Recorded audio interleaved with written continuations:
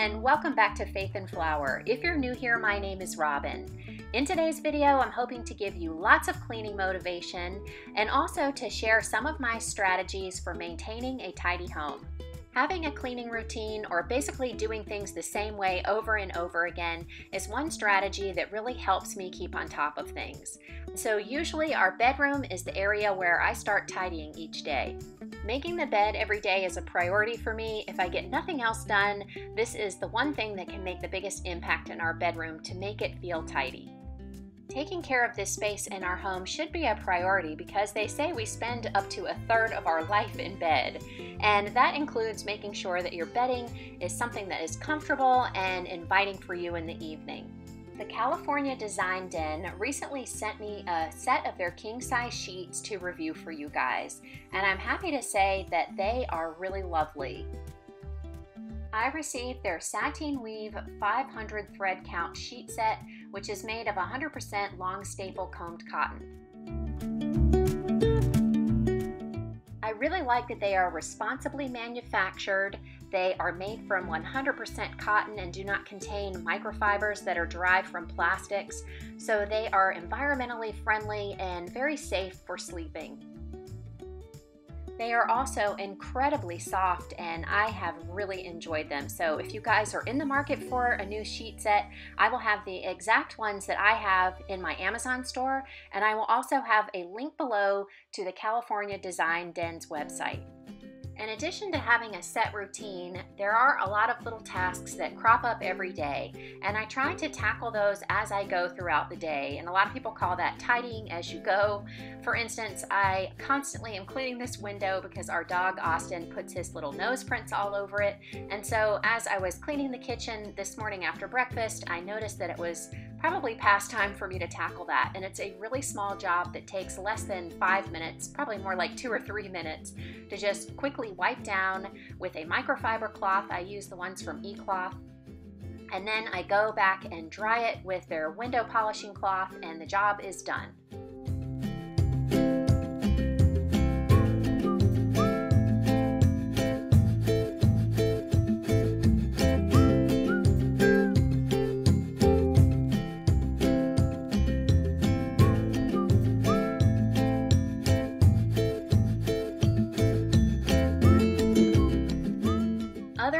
Examples of small tasks might be putting away shirts that have been drying in the laundry room, or taking the time to quickly fold a small load of laundry and putting them away. Attending to these small tasks as I have 5 or 10 minutes throughout the day really go a long way in helping me maintain our home and keeping it tidy.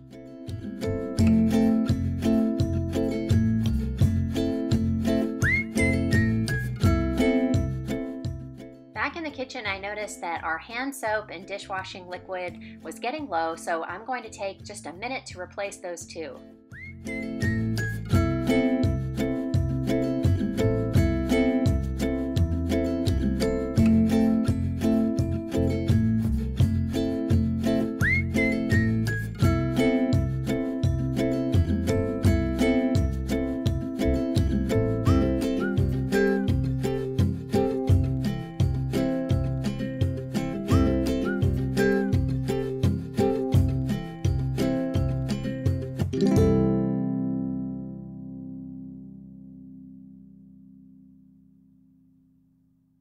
My number one strategy for maintaining a tidy home is using my planner to actually schedule my cleaning.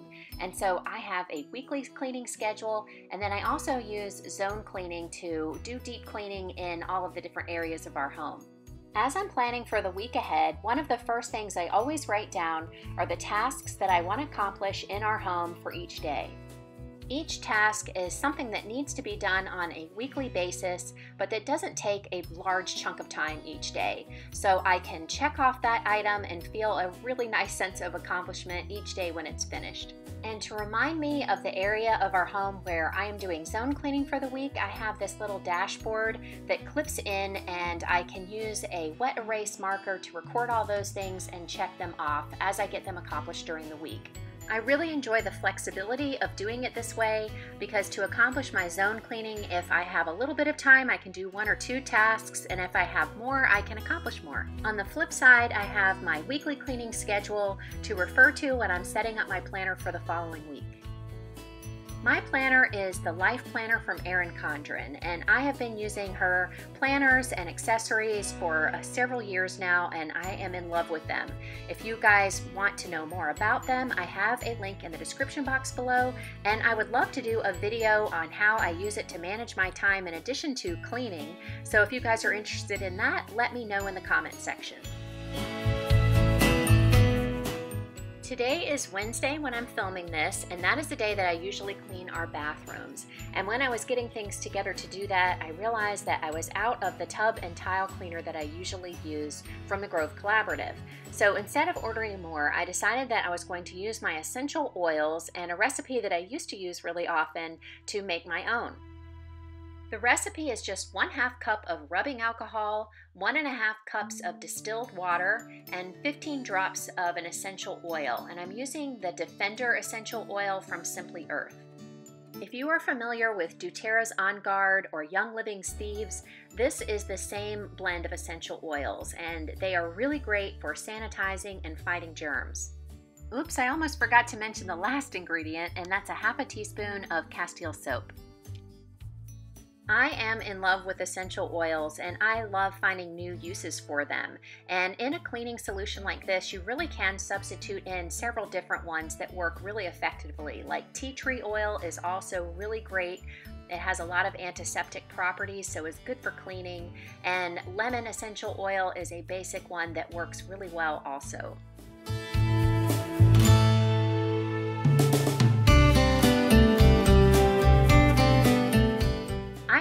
Are so many advantages for making recipes like this myself. This one in particular is really good for all the surfaces in our home. It's safe to use on natural stone, on quartz. We have an acrylic tub and it's safe for use on that. So this one product can really help me clean most of the surfaces in our kitchen and bathroom. And of course it's very economical because alcohol, water, a few drops of essential oil, and Castile soap are very inexpensive. And I know all of the ingredients that are going into it, so I don't have to worry about any toxic chemicals in our home.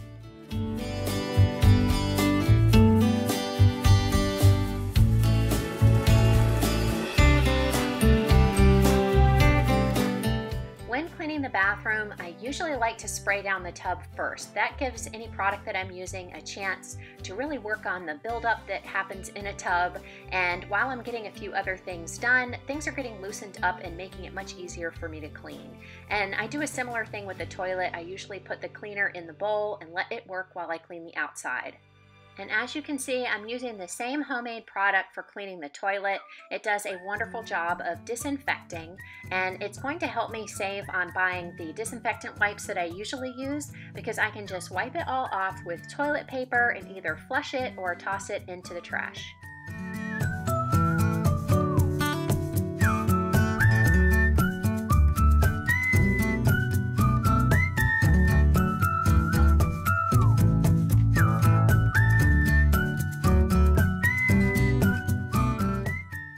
This isn't pretty, but you have to clean all these areas of the toilet.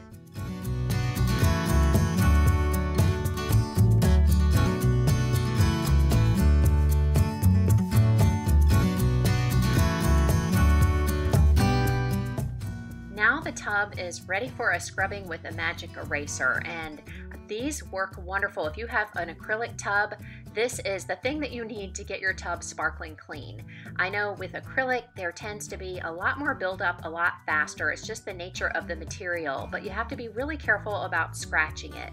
So this cleaner that I made is safe for the acrylic, and along with the magic eraser, I have the perfect combination for getting it super clean.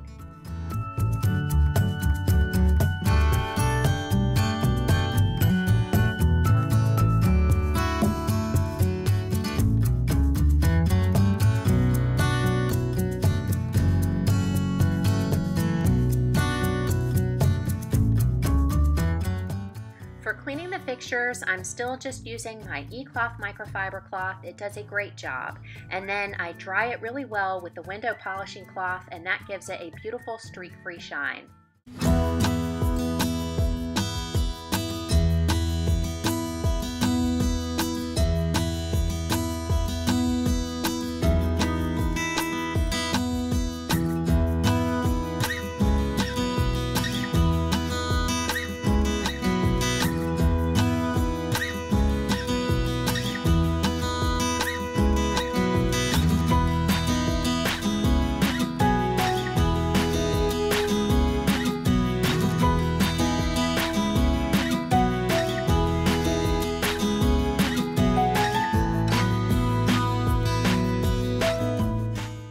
Give the mirrors the same treatment as the fixtures.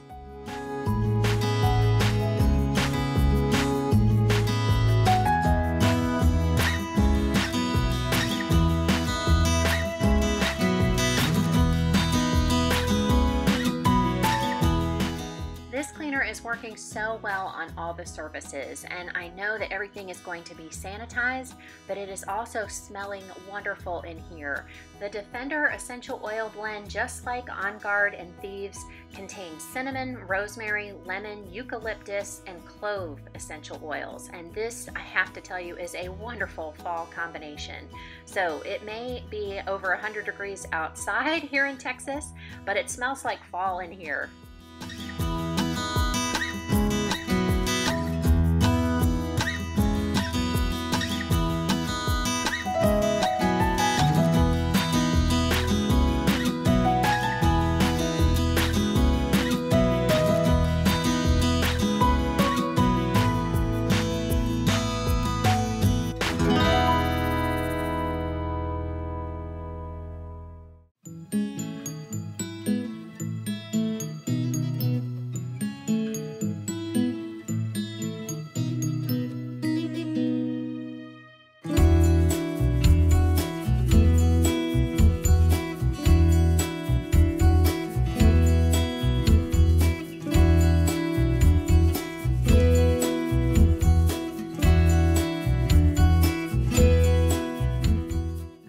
Cleaning the shower in today's video because we do that every day right after we finish our shower. So my husband and I, whoever takes the last shower, wipes everything down really thoroughly with an e-cloth and then we give it a good spritz with a daily shower cleaner. Right now we're using the Method one, but I also have a really great recipe. So when I run out, I'm going to be making my own and I'll share that in a future video. Now I am preparing to clean the floors, and so I pick up everything off the floor to make vacuuming and mopping easier. And then once those two tasks are done, I'm finished with our master bathroom.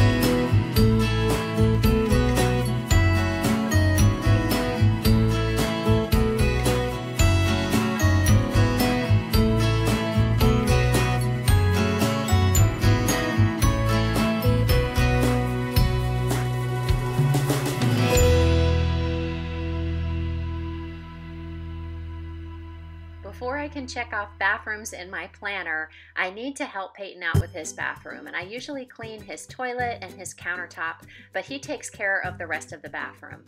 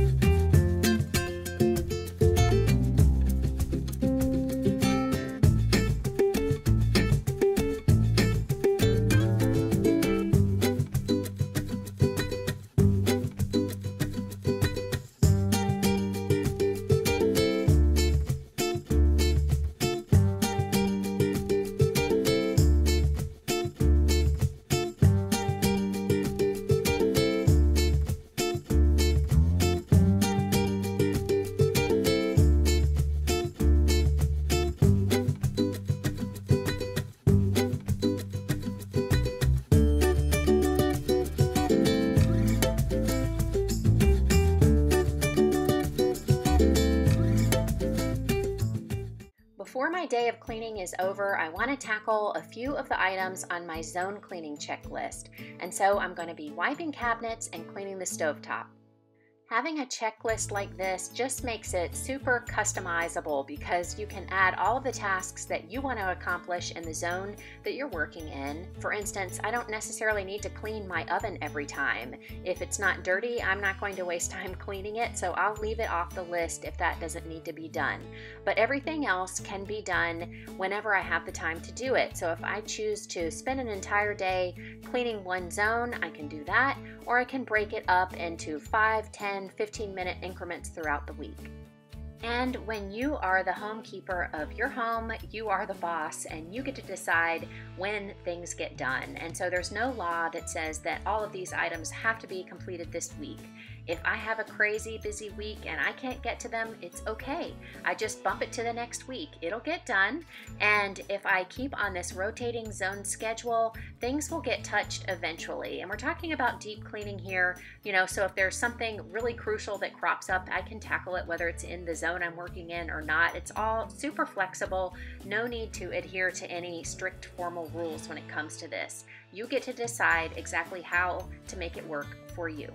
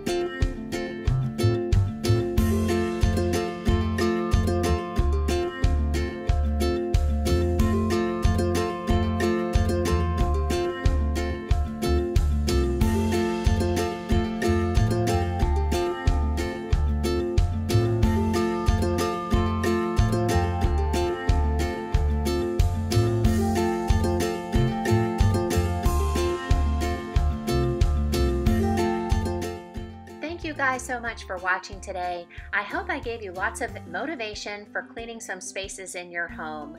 But more importantly, I hope you walked away with some tips and strategies for how to develop routines and schedules that work for you to help you keep your home tidy.